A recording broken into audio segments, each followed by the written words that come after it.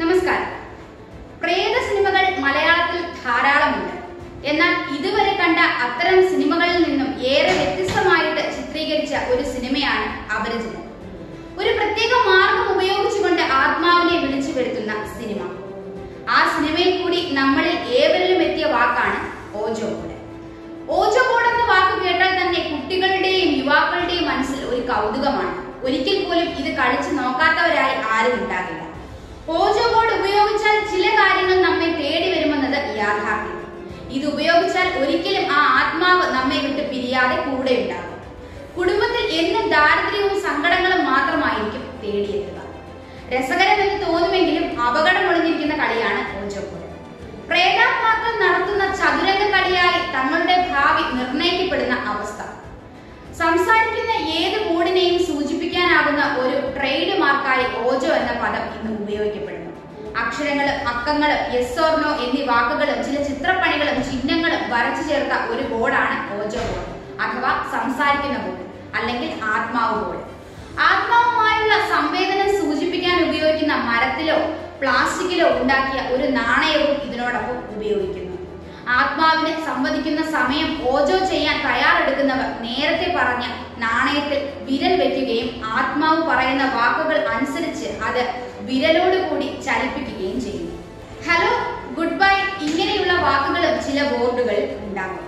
അമാനുഷികതയിലും അസാധാരണയിലും ബന്ധപ്പെട്ട് കിടക്കുന്ന ഓജോ ബോർഡിനെ ശാസ്ത്ര സമൂഹം ശാസ്ത്രീയതയ്ക്ക് നേരെ വിപരീതം എന്ന അർത്ഥമുള്ള ശാസ്ത്രാഭാസം എന്നാണ് വിളിക്കുന്നത്.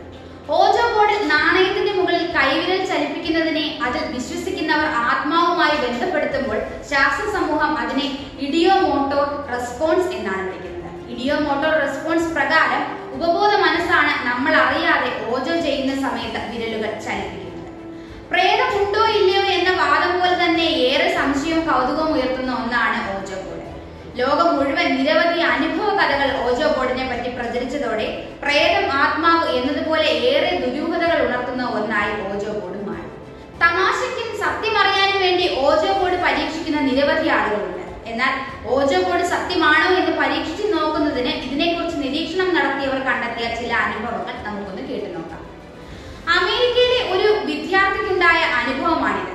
ഇയാളും സുഹൃത്തും ഓജ ബോർഡ് കളിക്കുന്നതിനിടയിൽ നിങ്ങളുടെ ഒരാളുടെ അച്ഛൻ മരിക്കുമെന്ന സൂചന സംസാരിച്ചു കൊണ്ടിരുന്ന ആത്മാവ് നൽകി.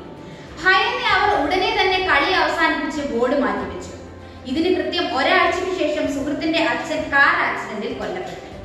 മത്താരി എന്ന സ്ത്രീ പറയുന്നത് സ്വന്തം വീട്ടിനുള്ളിൽ നടന്ന സംഭവമാണ്. അസാധാരണമായ പല സംഭവങ്ങളും വീട്ടിൽ നടന്നപ്പോൾ ഇവർ ഓജോ ബോർഡ് ഉപയോഗിക്കാം എന്ന തീരുമാനത്തിലെത്തി.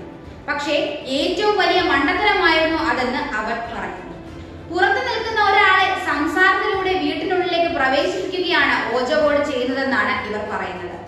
ഓജോ ബോർഡ് ഉപയോഗിച്ച ശേഷം വീട്ടിൽ അസാധാരണ സംഭവങ്ങളുടെ പരമ്പരയായിരുന്നു. ഇതോടെ ഇവർ ആ വീട് ഉപേക്ഷിച്ചു. പ്രേതങ്ങൾക്ക് രൂപമില്ല എന്നാണ് പൊതുവെ പറയുന്നത്. എന്നാൽ ഓജോ ബോർഡ് വഴി വിളിച്ചു വരുന്ന പ്രേതങ്ങൾക്കെല്ലാം തന്നെ ഒരേ രൂപമാണെന്നാണ് ചില ഓജോ ബോർഡ് വിദഗ്ധരുടെ അഭിപ്രായം. ഇത്തരത്തിൽ നിങ്ങൾ ആരെങ്കിലും മോചകോട് പരീക്ഷിക്കുന്നുണ്ടെങ്കിൽ തന്നെ മുറിയിൽ നിന്ന് പോസിറ്റീവ് ശക്തികളെ ആദ്യം ഒഴിവാക്കണം. ദൈവത്തിന്റെ ചിത്രമോ കൊന്തയോ കുരിശോ ഒന്നും തന്നെ അവിടെ ഉണ്ടാവാൻ പാടില്ല എന്നാണ് തത്വം. ഓജോ ബോർഡ് വഴി ആത്മാവുമായി സംസാരിക്കാൻ ആദ്യം വേണ്ടത് ഓജോ ബോർഡ് തന്നെയാണ്. ഒരു കഷ്ണം മെഴുകുതിരി സ്റ്റീൽ ഗ്ലാസ് നാണയം ഇത്രയും അത്യാവശ്യം. ബോർഡിന് നടുവിൽ നാണയം വെച്ച് മെഴുകുതിരി കത്തിച്ചു വെക്കുകയും ചെയ്യുക. ഗ്ലാസ് കൊണ്ട് അതിനെ മൂടിയ ശേഷം ആത്മാവിനെ വിളിച്ചു തുടങ്ങുക. അനന്തരഫലം എന്താണെന്നുള്ളതാണ് ആത്മാവിനെ പിന്നീട് പറഞ്ഞയക്കാൻ ബുദ്ധിമുട്ടേണ്ടി വരുന്ന പലരുടെയും അനുഭവങ്ങളും സാക്ഷ്യം വഹിച്ചിട്ടുണ്ട്.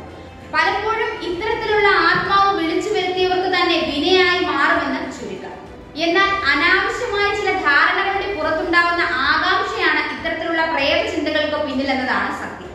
എന്നാൽ അധികമാർക്കും പിടികിട്ടാത്ത ആത്മാവിന്റെ ലോകത്തെക്കുറിച്ച് അറിയാനുള്ള ആഗ്രഹമാണ് ഈ അപകടത്തിന് പിന്നിൽ അപകടം കൂടുതലുള്ള കാര്യങ്ങൾ ചെയ്തു നോക്കുന്നതിലാണ് എല്ലാവർക്കും കുറച്ച് താല്പര്യം കൂടുതൽ ഈ താല്പര്യം കണക്കിലെടുത്താണ് ബ്രിട്ടനിലുള്ള ഒരു ചാനൽ ഓജോ ബോർഡ് ആസ്പദമാക്കിയുള്ള ഗെയിം ഷോ തുടങ്ങുന്നത്.